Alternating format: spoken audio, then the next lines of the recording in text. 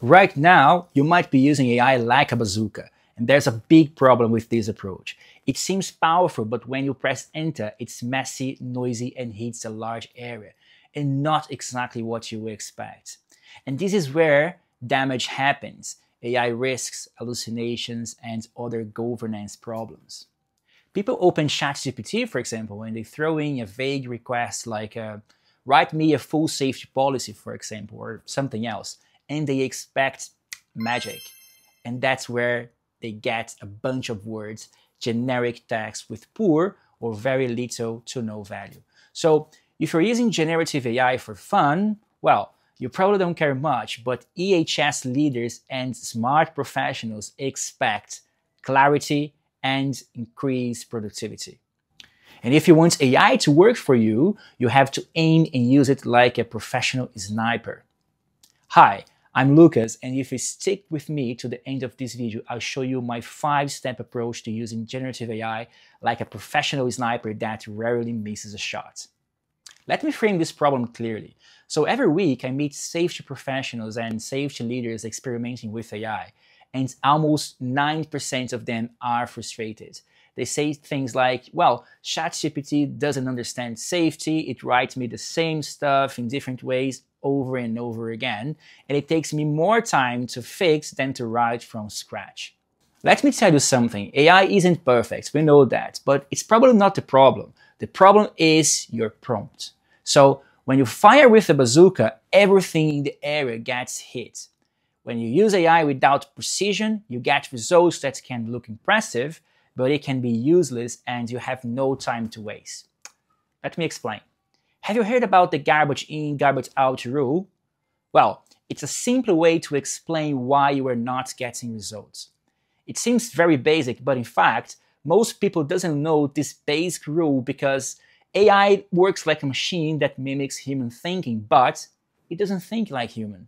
So in spite of its speeds and amazing architecture, it's basically a calculator of words predicting the next words to form a sentence based on the data it was trained.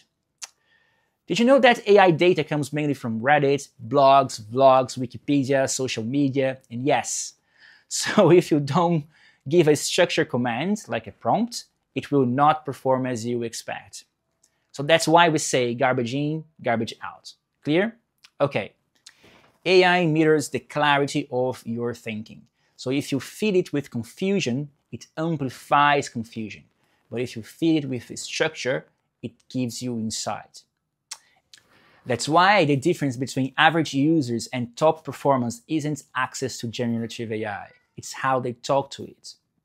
And that's where prompt engineering comes in. Let me show you the sniper methods that I teach safety leaders worldwide. Step one, the role. Tell AI who you should be, for example, act as a health and safety manager with expertise in ISO 45001, for example. This instantly frames context and the language AI will use. Step number two, explain the situation. For example, we had a near miss involving a forklift reversing in a warehouse.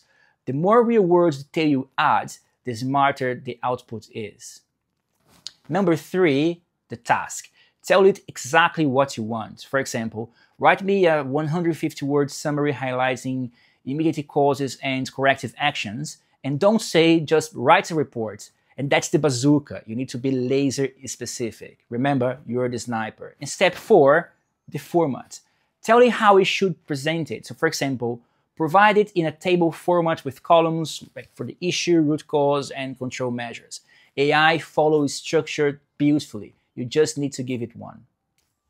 And step number five, keep human in the loop. Yes, refine your prompt. You can ask something like uh, what additional information do you need from me to execute this prompt? This iterative feedback loop is where the magic happens.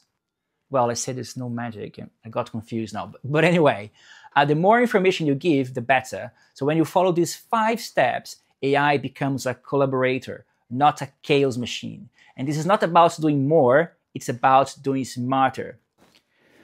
Well, I said that I would review my hack that elevates the ability to use AI as a co-pilot and not an autopilot. Well, this is about critical thinking. I never use AI blindly because what matters the most is my ability to control it. Uh, so when you understand it, it's where you become a true sniper. So here's your challenge.